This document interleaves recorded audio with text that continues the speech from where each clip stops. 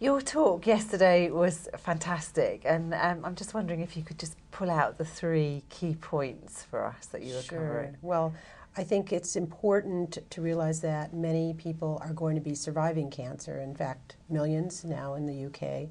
And uh, if we don't think at the very beginning of treatment what that survivorship trajectory is going to be, or that post treatment trajectory is going to be, we may not uh, give them the greatest opportunities to have high quality of life during that time.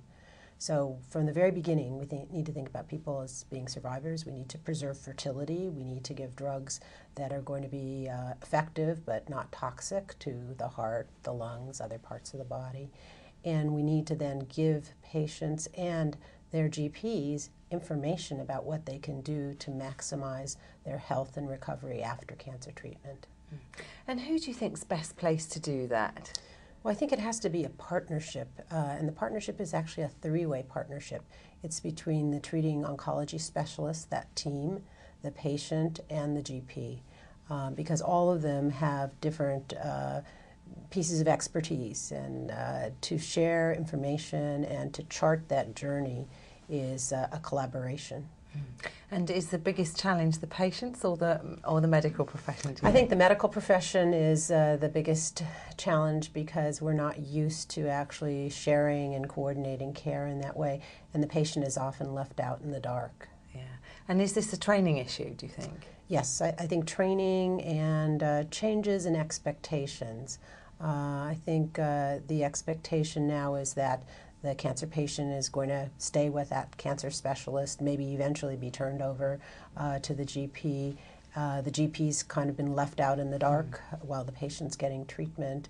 And we need to, to basically see the patient in the center of all of this. I think mm. patient centered care is really what's driving this. And if we want the best for the patient, the health professionals have to work together. Mm.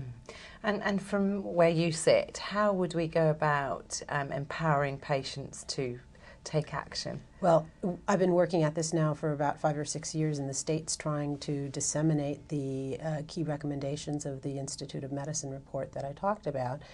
And uh, we've tried to actually ask patients to ask their doctors for a treatment summary and care plan, but they are uh, pretty timid about doing mm-hmm. it, even empowered patients. And it's like a lot of other things, if the doctor initiates it, it's a lot easier. So we are hoping that healthcare systems will see this as a mechanism of better coordinating care and uh, perhaps reimburse the oncology physicians a little bit more for taking the time to do that. Mm-hmm. In the. States, uh, we're actually uh, looking a lot towards nurses who work with physicians mm-hmm. to actually do this, to, to prepare the treatment summary and to do the post treatment survivorship care plan.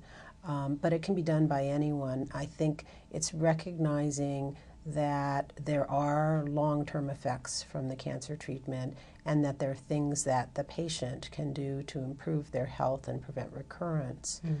And if the patient doesn't know what they can do and their GP doesn't know uh, what can be done for them, it will not necessarily happen. Mm.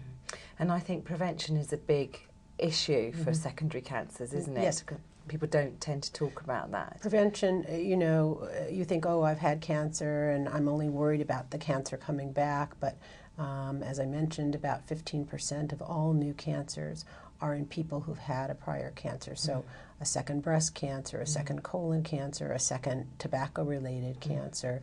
And anything we can do to change risks for those cancers coming, so uh, maintaining normal body weight, physical activity, um, prevention of uh, continuing to smoke and drink may be problems in terms of uh, cancer, new cancers, and cancer recurrence. Mm. And those messages certainly haven't got out to patients, have they? No, you know, many patients think, oh, if I'm overweight, I've got that reserve, I'm not going to, you know, have that problem again. But in fact, that's our biggest enemy: obesity and, and physical inactivity. Yeah. And so I guess prevention starts at birth, really, doesn't it? Right the way Prevent, through. Yeah, prevention it should be really a public health societal goal. And the, the nice thing is that when you think about other campaigns against other chronic diseases like heart disease and diabetes, all of the things that we're recommending for the cancer patient and survivor are really the same, so that the benefits are going to be uh, multiplied in terms of reducing risk for other chronic conditions. Mm. And I think through your talk last night, you've certainly inspired a lot of patients to, Mhm. to go forth, and that's fantastic. Yeah, well, we, we I think empowering the patient, uh, making them feel that they can do something because uh, so often uh, they feel that the medical system has abandoned them. You know, they're not interested because there's no active treatment that needs to be done, and uh, and in fact, there are many active things that we can do to uh, support our patients. So.